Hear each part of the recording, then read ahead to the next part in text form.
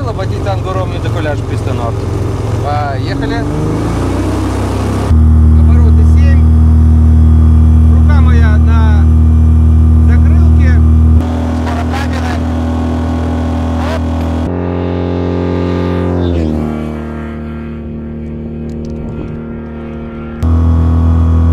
Вот это называется градиент. Здравствуйте, глубоко уважаемые любители летных видов спорта. Посмотрите, какую красивую чечевицу подарила нам природа. И моя мечта до нее добраться.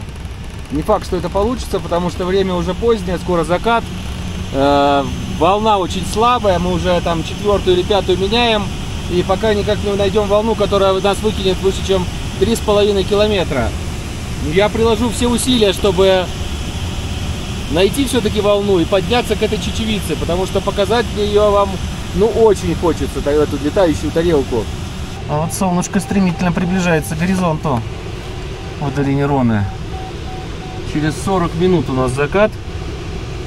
Я взял таки волну. 2 метра в секунду. Наша текущая высота 3 километра 200 метров. Визуально линза где-то на 5. То есть нам еще 2 километра нужно набрать. Вполне можем успеть. Гонка со временем. Так можно назвать ролик. Гонка со временем. Устойчивый набор. Ну, Вы все приборы наши видите. Сила ветра текущая 42 км в час. Но сложность сегодняшнего дня, потому что у ветра очень сильно меняется направление с высотой. И уже очередную волну каждую у нас где-то срезает на 3500. В том месте, где вот эта линза, я еще не был под ней, но под нее я всегда успею сдуться. Я сейчас пробую самое такое яркое место, которое у нас на районе есть. Здесь стоит, как правило, самая сильная волна. Ну, если не считать пик де Бюр. Но пик де Бюр сейчас может быть не совсем удачен по ветру расположен. Ну, Будем проверять. Копайло, ты как? Отлично, Ты счастлив? я счастлив. Это самое главное. Как это? Думал ли ты, простой крестьянский сын, что будешь попадешь в такой рай? Я, Я- я, я, я- я себе всегда так говорил. Я планировал. Не, не, ну я шучу тем, что когда-то в юности, когда-то, когда я был совсем маленьким, я, честно говоря, даже не мечтал, что меня в парашютиста возьмут. Точнее, меня в парашютиста не брали. Я думал, ну вот, судьба моя, судьбинушка. У меня все началось, Игорь, в 10 лет. В 10-11 лет я попал в авиамодельный кружок. И все. На этом как бы я прошел двигатели внутреннего сгорания на авиамоделях, кордовые модели. С радиомоделями мне первое время не везло. Вот, но кордовые у меня были и моторчики, и стенд этот настроечный, как бы я этим одно время усиленно занимался, даже до, до старшей школы практически. Вот, потом как бы пришлось сосредоточиться больше на учебе и э, ездить далеко учиться, поэтому времени свободного не очень много было. Но зато после школы меня взяли в парашютисты, при, при этом на втором прыжке я потерял очки, близорукий, как-то ехал но потом на машине домой. Не очень много прыжков у меня, я не профессионал, я любитель. Ну что ж, уверенно холодало. Да, Я хочу здесь попробовать пробить вот этот слой. Видишь, опять меняется ветер на восточный. Я бы тебе дал по- по- поелозить, но мне хорошо и так. сейчас цигель-цигель. Все хорошо, я, думаю, я, что ты вполне себе неплохо полетал. я уже налетался, я готов наслаждаться дальней перспективой и готов к подключению кислорода. Вот, Монблан, друзья. Далеко-далеко. Мы устойчиво и уверенно поднимаемся. Сейчас уже высота 3700 метров. Как меняет форму линза. Видите, она немножко видоизменилась. Постоянно вот так вот меняется, ползает. И я очень надеюсь, что мы все-таки успеем к ней подняться. Солнце же продолжает склоняться к горизонту. Наш набор метров в секунду, соответственно, за 10 минут мы набираем 600 метров. Это, конечно, медленно. И сейчас вот уже 7, 3 800. То есть нам нужно 20 минут, чтобы набрать 1200 метров, и то бишь у нас тогда будет 5. Ну, есть, 20 минут у нас есть, судя по положению солнца. Сейчас 16 часов 13 минут. Есть, конечно, более агрессивный вариант пилотирования. То есть я могу сейчас бросить эту волну метровую, которая у меня есть, и рвануть непосредственно под линзу. Но беда в том, что в этом случае присутствует реальный риск не найти волну там. И, как говорится, за двумя зайцами погонишься, ни одного не поймаешь. То есть сама вот это вот само облако, оно нифига не значит, что там прям волна, волна, волна. Да, она там есть точно, да, там выносят на определенную высоту э, влажную воздушную массу, которая конденсируется и образует эту чечевицу. Ну, собственно, как это выглядит. Воздух идет, поднимается, происходит конденсация, дальше напускается, происходит испарение. Все. И вот мы видим постоянно стоящее на одном месте облако, очень красивое. Поэтому я принимаю консервативный вариант э, развития событий. Медленно поднимаюсь. Медленно это еще полезно. Все-таки уже холодает очень сильно. И на большой высоте мы все равно планируем до заката долетать. И если мы будем на 5000 ждать этот закат, нам будет еще холоднее. Э, очень интересно, из чего это облако состоит. Ну, как правило, это переохлажденный пар, может быть, который, если в него залететь, мгновенно на крыле конденсируется в лед. То есть можно схватить обледенение, если в эту чечевицу залететь. И, кстати, вот в такой штуке уже можно схватить обледенение, может быть. О, ё-моё, мы его схватили. Друзья, вот это жопа. Вот это, ну, жопа жопой, но круто, что я могу вам снять. Вот тебе линзочка. Ну, я, так как я снимал ролик вчера про обледенение, это прям у меня крайне удачный контент получился. Как же мне заснять вам этот, эть, что лед, реально лед. Вот он, вот он лед. Смотрите, вот. Вот, бургамите! Мы поймали обледенение. Вы представляете, я этот лед привез вот, вот из той линзы. Ну, мы можем так одним глазком засунуть туда крылышко. Будет очень интересно. Ну, посмотрим. Потому что обледенение, если кратковременно сунуть крыло, то есть там, ну, выступить этот лед, ну, ему сразу оттуда вниз, то есть, говорится, ничего такого страшного. Но если долго висеть, то, конечно, можно столько льда набрать, что поменяется аэродинамика планера и будет ой-ой-ой, как нехорошо. И я не ожидал такого в Африке, не ожидал, что такую штуку можно схватить. Но, как вы видите, факт, на высоте 5 километров может быть обледенение. Это, кстати, очень легко посчитать. Обледенение. Черт, точно обледенение. Ёпс тудей. А я думаю, что Лероны подклинивает? Да, может и трубочка замерзла. Вот, но не, не, не показать вам эту красоту было бы ну просто кощунством. Поэтому, невзирая на сложную метеообстановку, о том, что давно уже, давно, домой, домой пора, я вам вот так вот показываю, как же красиво. А? Ну, скажите, что я не зря это делал. Эй! Такой видит раз жизни и, в общем-то... Эй! Смотрите, какой счастливый. Атмосферка не очень стабильная. Внизу 30 градусов, 35. Можно посчитать градиент. Поймать обледенение можно даже в Африке. Там прихватило элерона первый раз у меня. Я почувствовал, как это неприятно и противно. И вот это вот помогло мне даже, наверное, немножко. То, что я знаю, как это ощущение выглядит. Помогло мне сейчас. А обледенение это вообще бич э, авиации. Ну, самая страшная штука после штопора. Э, дело в том, что какие проблемы возникают при обледенении. На крыле самолета, планера, винте, лопастях вертолета образуется лед. И этот лед э, нарушает, во-первых, летательный аппарат набирает вес, он становится тяжелее, тяжелее, тяжелее. То есть самолет не, не только везет там пассажиров, топливо, двигатель, но и лед. И больше, больше этого льда. И э, вторая проблема, что лед нарушает аэродинамику. Третья проблема, что еще и управление прихватывать начинает. Вот смотрите, как между тем я на, перешел на полтора метра в секунду, ну ладно, 1,2. То есть достаточно уверенный подъем. Осталось совсем чуть-чуть. Пишите, друзья, комментарии, подбадривайте наш экипаж совершать такой как это, выдающийся поступок, лезть поздно вечером в холодину. Ну, представляете, минус, сейчас минус где-то 5-7 градусов на поверхности планеты. Больше тридцаточки за бортом. Ух, как весело. Я, кстати, не в шортиках нифига, я в штанишках э, и в чунях. И тут у меня даже электро... э, не электрохим грелки валяются где-то на заде. Но мы их не одели, потому что не верили собственному счастью, что мы так быстренько и красивенько полезем вверх. То есть обещали волну, но не обещали, что можно будет взять большую высоту. А между тем у нас уже 4,50. 4,50. Очень хорошо. Очень хорошо. И опять поменяла форму наше облако. О, речка, река Рона, смотри, светится. Очень красиво. Бутан под солнцем. Ага. Не знаю, передаст камера или нет. Друзья, посмотрите, на горизонте под солнцем ровно светится полосочка река Рона. Очень красиво. Мы продолжаем наше карабкание. Волна усилилась до 2 метров в секунду. То есть мой расчет был абсолютно верным. А, Время сейчас а, 16 часов 24 минуты.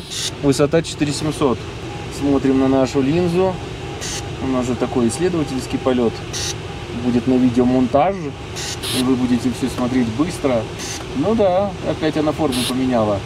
Стала какой-то такой сверххитрой. Но мы продолжаем. Я хочу выбраться на ее уровень и тогда к ней пойти, а может даже выше нее.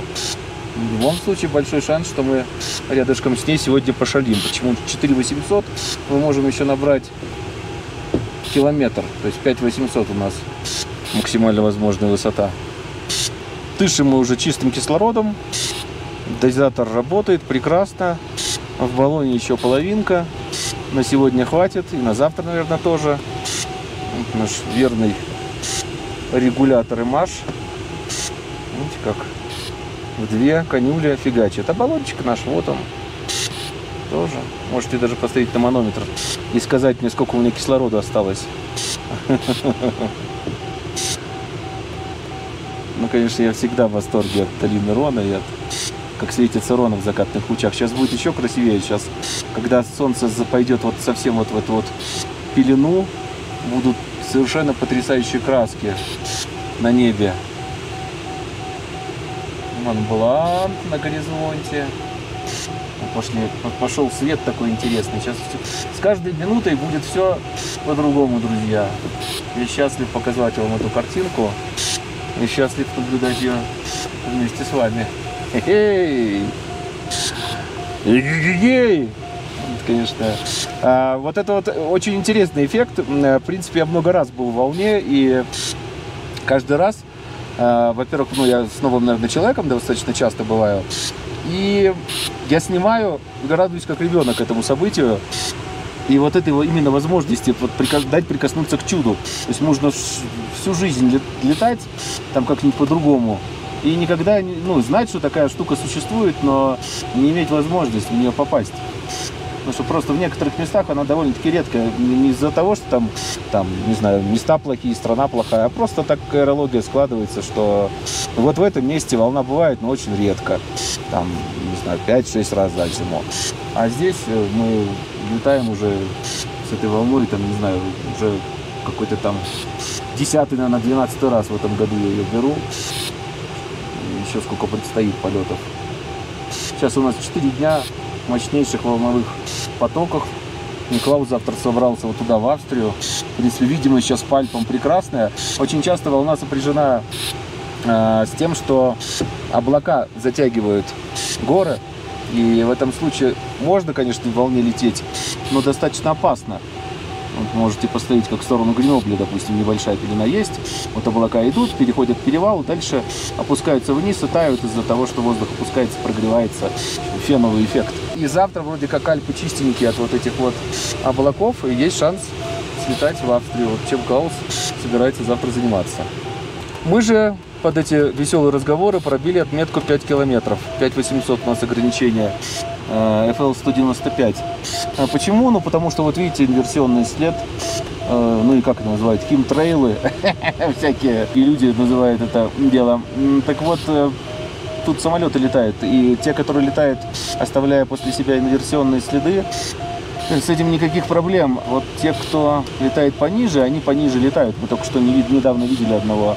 Вот они как раз способны нам немножечко, ну не навредить, но если мы залезем в пространство, мы можем и встретиться. А это неприемлемо. 16 часов 38 минут, 10 минут до заката. То, что здесь солнце так высоко, это потому что мы высоко.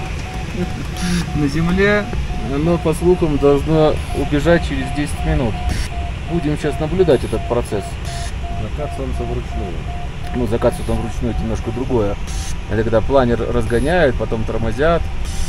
Общем, потрясающий совершенно вид на вот эти горы. И у них в верхушке, не знаю, камера передает им или нет, насколько красиво эти верхушки подсвечены. Феноменально. Но осталось каких-то жалких 250 метров до высоты, которую реально любому пилоту стоит достигнуть. Терпи. Терпи, казак. А то мамой будешь. А то мамой будешь. На горизонте как раз получается, что там нету облаков. Вот оно сейчас через вот эту пелену муть опустится и прям само касание на горизонте будет чистым. И вот тогда мы сделаем закат солнца вручную. Пик, пик, пик, пик, пик, пик, пик. Есть 5800. Есть, все. Выше нельзя. Ну что ж, прогуляемся, посмотрим, что, с чем дают эти линзы. Гей-гей-гей-гей-гей-гей! 5800 метров выше не можем по причине нарушения воздушного пространства. Этого мы делать не будем. Видите, мы держим 5790. Ну и будем где-то здесь отсиживаться еще 5 минут, чтобы продемонстрировать вам, как зайдет солнце. Линза продолжает радовать глаз, но видите, высотомер мой сбит. Мне казалось, что она все-таки ниже. Заходящее солнце подсвечивает воздушные тормоза. Здесь около Пикдебюра мощнейшая волна, которая просто забрасывает нас вверх.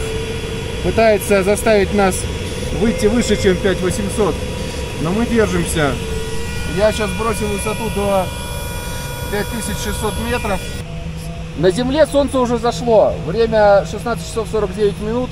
Три минуты назад был закат на уровне земли. Но на нашей высоте солнце еще не зашло. Потому что мы, ну извините, на 5 километров выше, чем наш аэродром.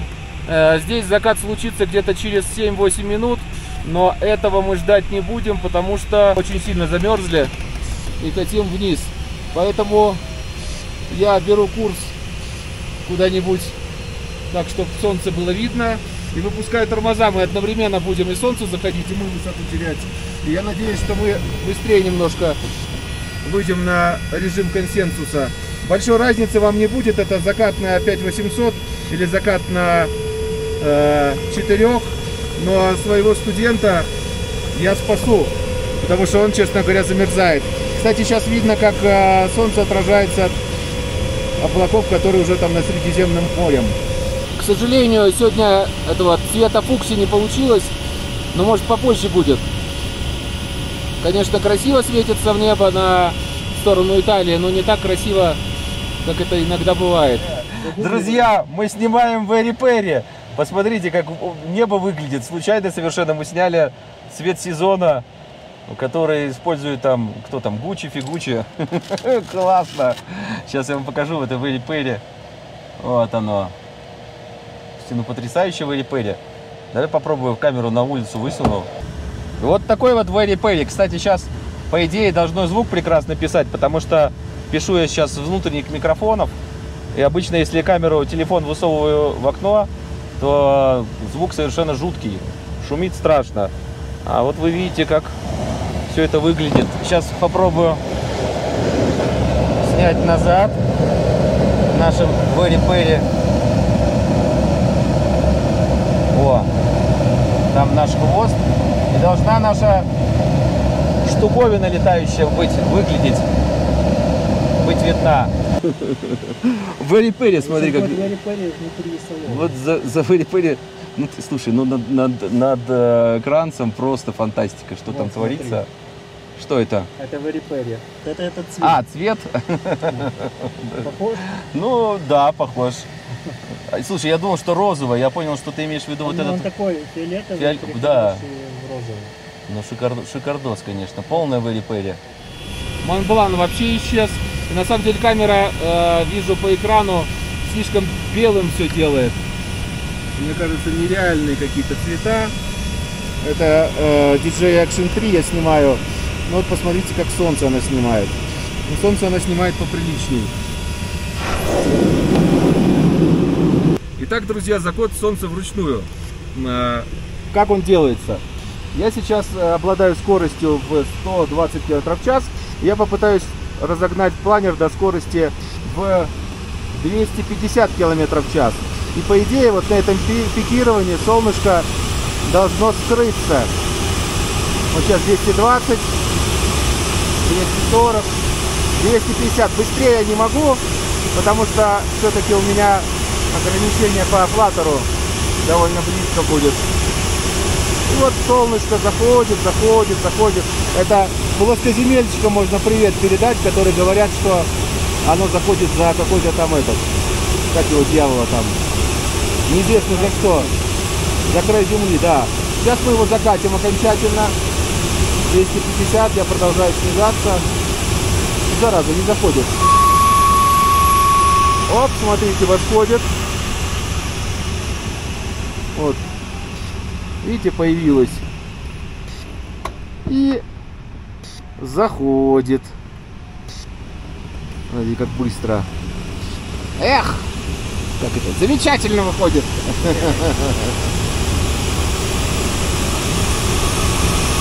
Оп!